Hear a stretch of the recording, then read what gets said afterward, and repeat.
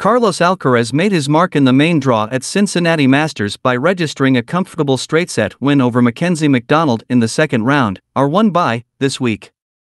He made his debut in the tournament as a qualifier in 2021 and lost to Lorenzo Sonego in the first round. This was the talented Spaniard's best performance in more than three matches. He lost his last two matches in three sets against Tommy Paul and Jannik Sinner in Montreal Masters and UMAG, respectively, and dropped a set to Giulio Zeppieri in UMAG. The teenager's level has dropped a bit in recent weeks, but his motivation must be really high as he's still got the chance to finish the season as the new world number one and can reach as high as number two next Monday, which would be an incredible achievement considering he was ranked around number 150 at the start of the 2021 season. World number 4 has won 11 out of 12 matches in the USA in these 8 months of the 2022 season.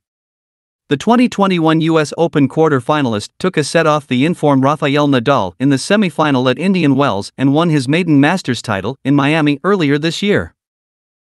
Marin Cilic has won at least two matches in every tournament since Rome, and he scored his second win at Cincinnati Masters by edging Emil Ruusuvuori in a three-setter, 6-4 6-7 7-5. The big serving Croatian's Montreal Masters campaign also ended at the hands of Tommy Paul, and he could win only six games against the American, 4 6 2 6 in the round of 16. Former U.S. Open champion won his only Masters title here in Cincinnati back in 2016, and he's gone 3 2 in round of 16 matches in the tournament, with the last such defeat coming against Richard Gasquet way back in 2015. Head to head, tied at 1 1, CA leads 1 0 in 2022 and on hard courts. Carlos Alcaraz deservedly starts as the firm favorite, but his recent shaky form should give the experienced Marin Cilic plenty of encouragement heading into this clash. My pick in this match is Carlos Alcaraz minus 3.5 games. What say you? Let me know in the comments section below, but tail or fade, may the winner be yours.